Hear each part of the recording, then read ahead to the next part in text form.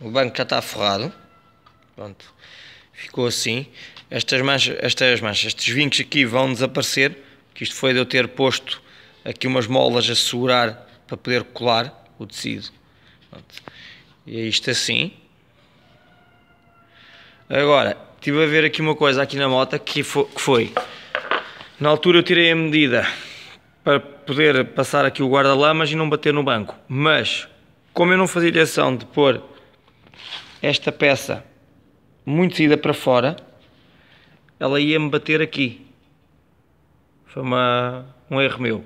Então o que é que eu fiz? Vou optar, em vez de parafusar cá em baixo, vou optar por, uh, por soldar aqui esta peça, que eu já vos vou mostrar como é que vai ficar, e o banco vai ficar mais acima, até ficar melhor para a gente depois poder eh, ter uma condução mais agradável. Já não bate aqui, uh, isto aqui eu posso eliminar que eu já não vou precisar mais da, desta peça aqui. Foi uma alteração de última hora, mas teve que ser, senão tinha que voltar a alterar o banco todo e eu gostei de ver o banco assim.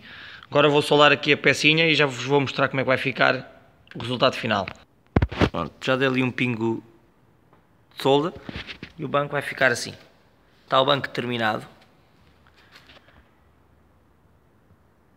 Ficou fixe assim até alto.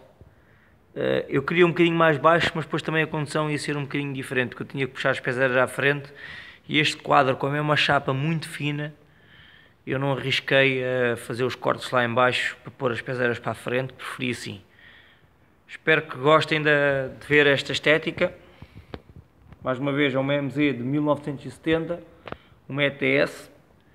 Estou a alterar para Bobber. Uh, continuem a ver os meus vídeos, pois eu vou fazer aqui uma alteração também à frente. Vou rebaixar um bocadinho as molas à frente, para ela ficar mais baixa à frente. Uh, neste momento vou desmontá-la toda soldar tudo o que eu tenho a soldar, lixar, pintar e depois vou fazer um vídeo dela a ser montada e depois no final ela a trabalhar.